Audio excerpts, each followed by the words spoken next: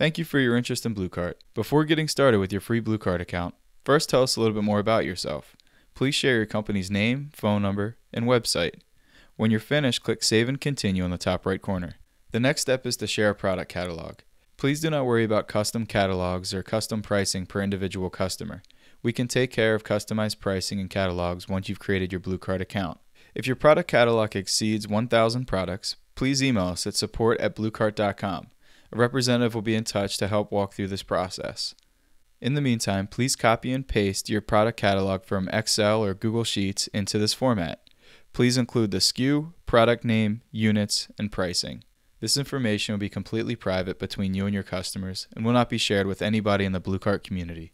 If you have any questions or need immediate help at any point throughout this process, please go to the bottom right hand corner where it says Contact Us.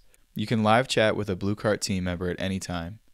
The third step is to begin connecting with your wholesale buyers. For right now, let's just enter one wholesale buyer that you'd like to try BlueCart with. By clicking Save and Continue, your information will be sent to the BlueCart team where they'll begin to create your account. Once you grow more comfortable receiving orders through BlueCart, you can always invite more of your customers. In the meantime, feel free to click Text Me to text a link to yourself for the Sales Rep app. The app is available for Android or iOS. From the app, you can manage your catalogs, receive incoming orders, and place orders on behalf of your customers.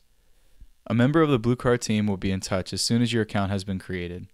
Welcome to BlueCart.